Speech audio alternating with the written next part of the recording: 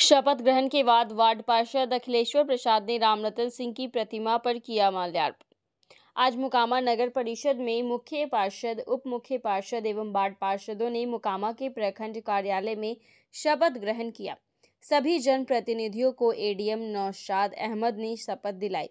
शपथ ग्रहण के ठीक बाद अखिलेश्वर प्रसाद सिंह ने रामरतन सिंह कॉलेज मुकामा में अपने नाना रामरतन सिंह को प्रतिमा पर माल्यार्पण कर आशीर्वाद लिया।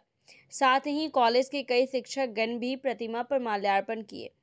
वहीं माल्यार्पण के बाद सुने अखिलेश्वर प्रसाद सिंह ने क्या कुछ कहा? शपथ के बाद पहला जो है आप रामरतन सिंह जी को जो है माल्यार्पण करने पहुँचे इसकी वजह क्या है? वजह यही है पत्रकार महोदय कि हमारे नाना जी हैं पूजनीय नाना जी हैं और पूरे मोकामा में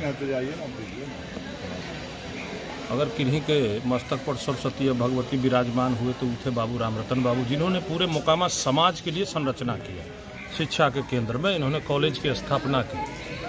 मैं जनसेवक हूँ, जनसेवक के रूप में पहली बार मोकामा नगर परिषद में आया हूँ और नाना जी का आशीर्वाद लेने के लिए आया हूँ।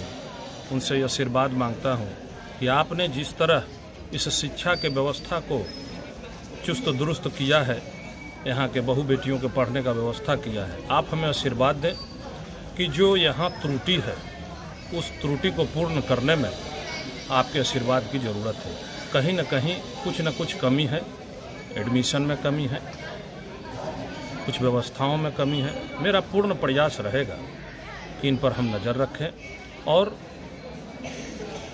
जनता से भी हमारा ये अपील है कि ऐसी कोई बात अगर हो तो मुझ तक पहुँचाने का कोशिश करें उसे हम मानस पटल पर लाने के लिए उस समस्या को दूर करने में मेरा पूरा सहयोग रहेगा।